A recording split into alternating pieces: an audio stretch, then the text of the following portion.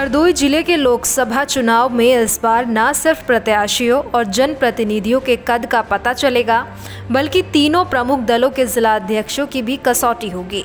भाजपा ने बीते साल सितंबर में तो सपा और बसपा ने हाल ही में जिलाध्यक्ष बदले हैं। ऐसे में चुनाव का परिणाम तीनों ही पार्टियों के जिला अध्यक्षों का भविष्य भी तय करेगा। बदले दौर में विश्व के सबसे बड़े राजनीतिक दल होने का दावा करने वाली भाजपा के जिला अध्यक्ष अजीत सिंह बब्बन है। पिछले लोकसभा चुनाव में पार्टी के जिला महामंत्री रहे अजीत सिंह को 15 सितंबर 2023 को भाजपा का जिला अध्यक्ष बनाया गया था। वो पहली बार जिला अध्यक्ष बने हैं और उनके कार्यकाल में ये पहला चुनाव है। ज़ाहिर सी बात है कि उनके संगठन कौशल की परीक्षा भी इस चुनाव में होगी। हालाँकि अजीत सिंह बब्बन को संगठन में काम करने का लंबा अनुभव है। सपा ने बीती मार्च में ही जिला अध्यक्ष बदला है। पार्टी के वरिष्ठ नेता शराफत अली को जिला अध्यक्ष बनाया गया है। शराफत अली चौथी बार जिला अध्यक्ष बने हैं।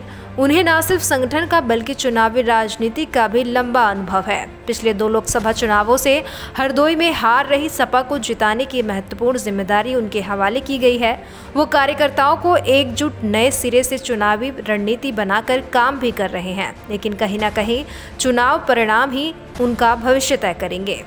बसपा ने बीते सोमवार की रात ही लोकसभा चुनाव की तैयारियों के बीच जिलाध्यक्ष बदला है। सवायजपुर विधानसभा क्षेत्र के बसपा अध्यक्ष राजेश्वर सिंह कुशवाहा को पार्टी का नया जिलाध्यक्ष बनाया गया। राजेश्वर सिंह को भी बसपा के कैंडर का कार्यकर्ता माना जाता है। वो दो दशक तक ग्राम प्रधान भी रहे हैं। संगठन के विभिन्न पदों पर काम कर चुके राजेश्वर कुशवाहा को एन चुनाव के वक्त पार्टी ने ज़िम्मेदारी सौंपी है।